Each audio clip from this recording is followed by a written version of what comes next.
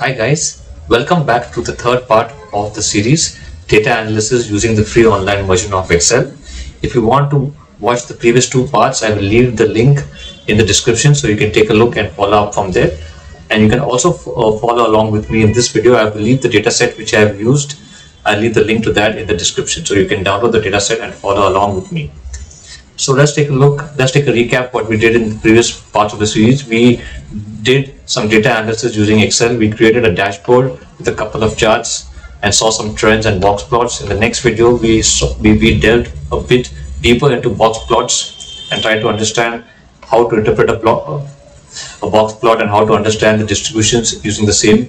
In this video, we'll take a look at an example using the VLOOKUP on how to perform some categorization of your data using the VLOOKUP. So you can, if you want to do some action or categorization of your data based on analysis, you can do that using VLOOKUP. So let's say we have seen the employee, uh, uh, uh, the employees with us. We have their hire date as well as their uh, their exit date, right? So say we want to reward our employees who have stayed with us for a long period of time because as we can see that we have grown well from the trends we have seen, we have grown well and we expect further growth. So we want to reward the long-standing employees. So how do we do that? Let's take a look with VLOOKUP. So first I'm going to check if the employee is currently with us or he or he has or he or she has left us. So let's say I create a column calls called as is hired. Sorry, is employed. Right. And I want to find if the employee is currently employed with us or not. So I will use the formula is blank.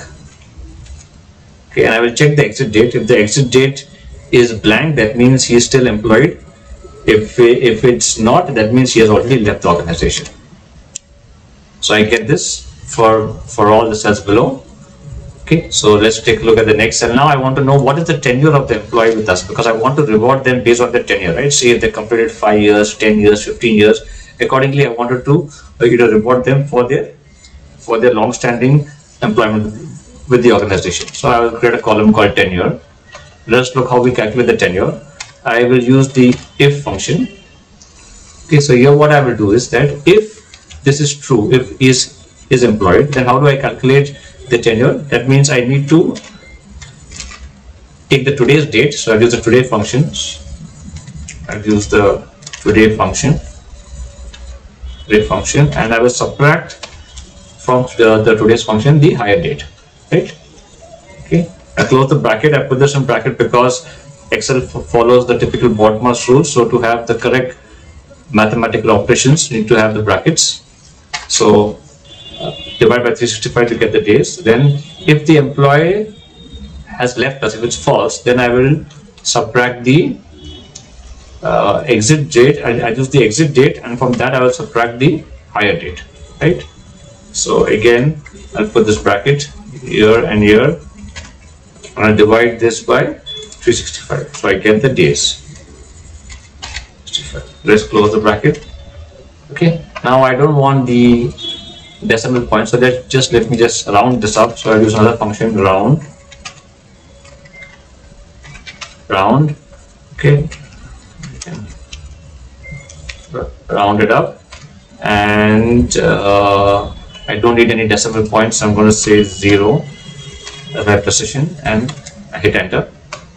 Okay, so it gives me a nice tenure years for the employees. Okay, now based on this, I want to reward the employees. Say for the employees, first let's take a look at what is the maximum tenure. Say I'll do max of this. Control Shift down, select the data.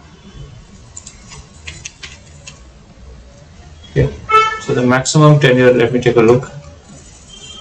Okay, uh, it's showing 32. I did it in the column, so it is done for all the set. It is showing 32 years. So I'll just delete this.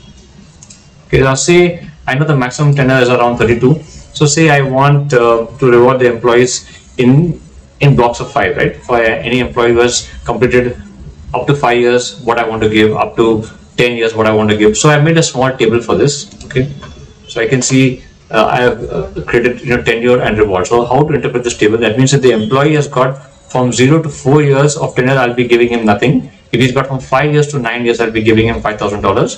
From ten to fourteen, I'll be giving him $10,000 and so on and so forth up to 30 years, right? Anything above 30 will be, will be getting $30,000.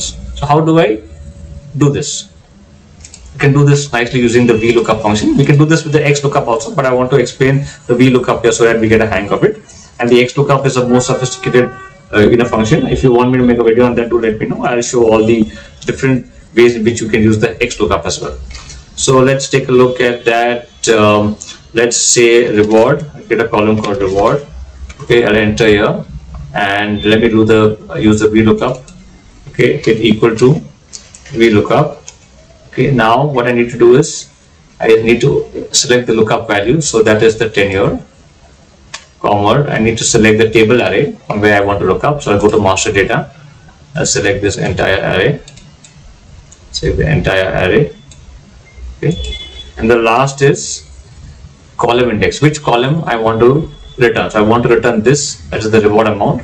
So I will say 2 and close and you can see it has now populated all the reward. Just let me quickly let me quickly uh, make this into the dollar currency amount so you can now see it has quickly populated all the rewards okay you can see if I, by having six years has got five thousand uh, dollars employee having 26 years I got 25 anyone who has got four years I mean less than five has got zero so this is how you can quickly take an action and use the VLOOKUP to categorize your data into different you know segments. I have categorized it into the different reward sections in which I want to uh, reward my employees, right? So in this uh, data set. So I thought I'll take this example to explain the VLOOKUP. If you like this video, please do like and leave a comment below on any other videos you want me to make.